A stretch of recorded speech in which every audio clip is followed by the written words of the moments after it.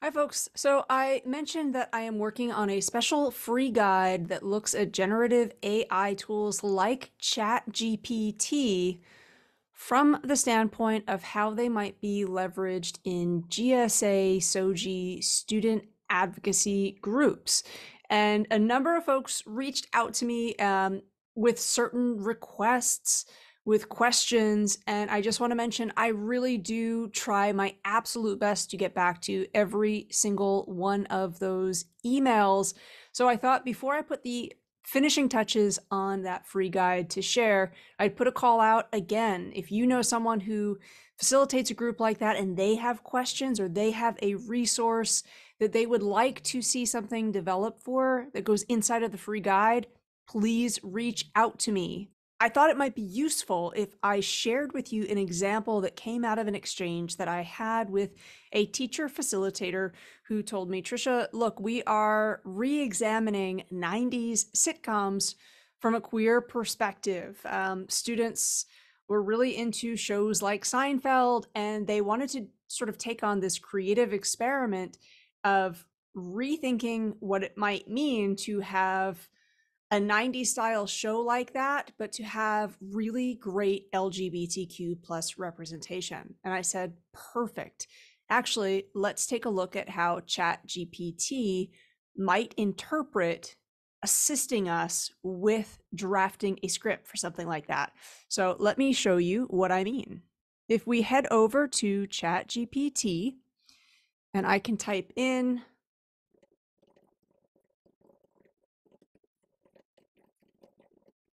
I've asked ChatGPT here to draft a script for a Seinfeld TV episode featuring a queer main character who is best friends with Elaine.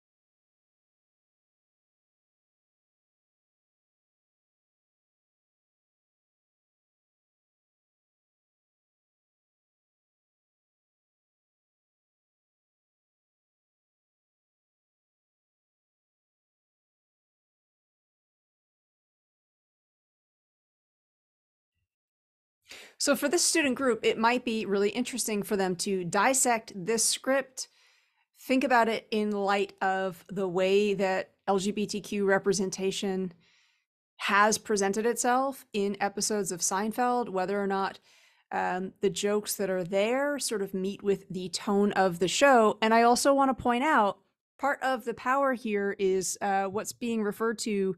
I'm seeing this term prompt craft. So again, getting creative with some of the back and forth with Chat GPT. So I might say,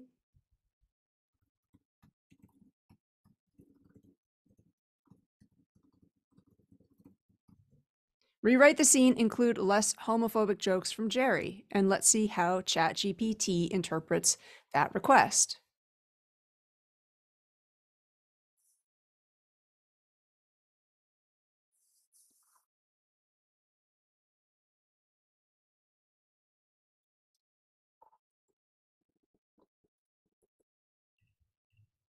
So what's interesting to me here is how ChatGPT understood that Jerry's earlier comment was trying to use homophobia in its humor. Um, so again, I think that's going to make for some really interesting conversations where perhaps that media lead, uh, literacy component is something that students are talking about. They might continue to work with Chat GPT uh, and invite it to continue to make updates.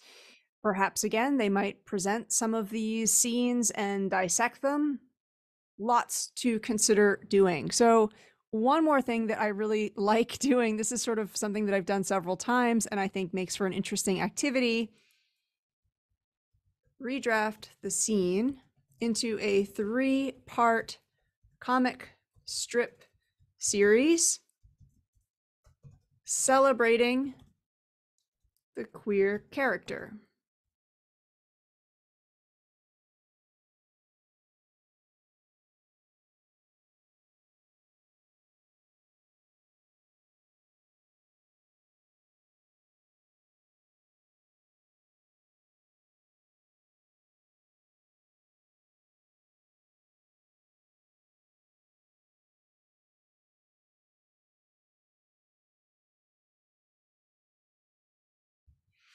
For students that might really love illustration work or drawing work, um, again, inviting ChatGPT to be in part the author of the text, I think is a really interesting activity.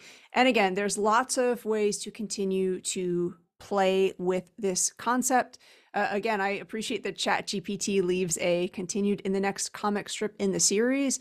And with a prompt like that, it might be a really cool interactive experience to ask other students, okay, let's rewrite part two of this series. How might those characters continue that dialogue?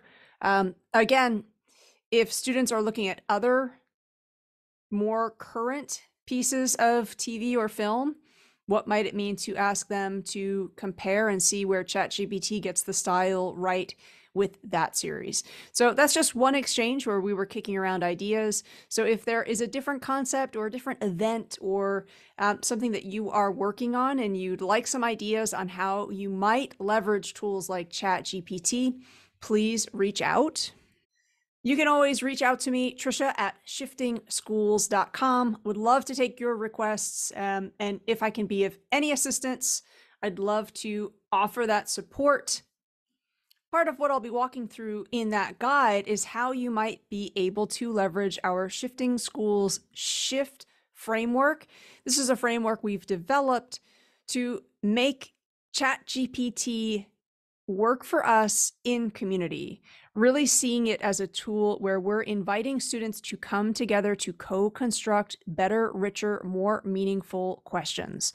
So, again, hope to hear from you. That free guide is coming out very soon. Thanks for watching.